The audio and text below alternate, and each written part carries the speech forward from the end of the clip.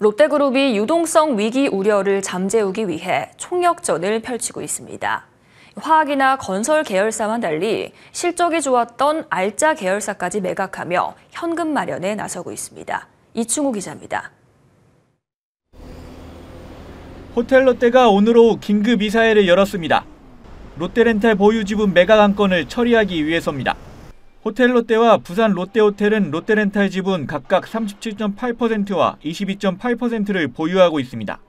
두 회사는 보유 지분을 사모펀드에 매각할 예정입니다.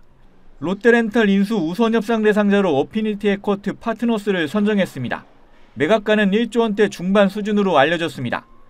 지난 3분기 적자 전환한 호텔 롯데의 재무 구조를 개선하는 데 큰 보탬이 될 것으로 보입니다.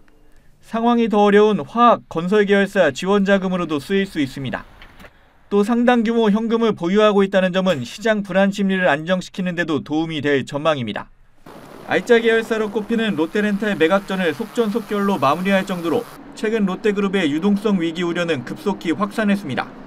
앞서 위기설 진앙지인 롯데케미컬 회사채 상환 문제를 해결하기 위해 결국 그룹 상징인 월드타워를 담보로 내놨습니다. 6조 원 가치인 롯데 월드타워를 은행권에 담보로 제공해 롯데케미칼 회사채 신용을 보강하기로 했습니다.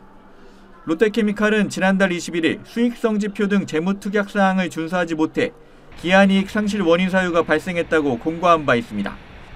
이번 달 19일 사채권자 집회에서 은행권 보증 등을 내세워 재무특약을 조정하고 회사채 문제를 해소한다는 계획입니다.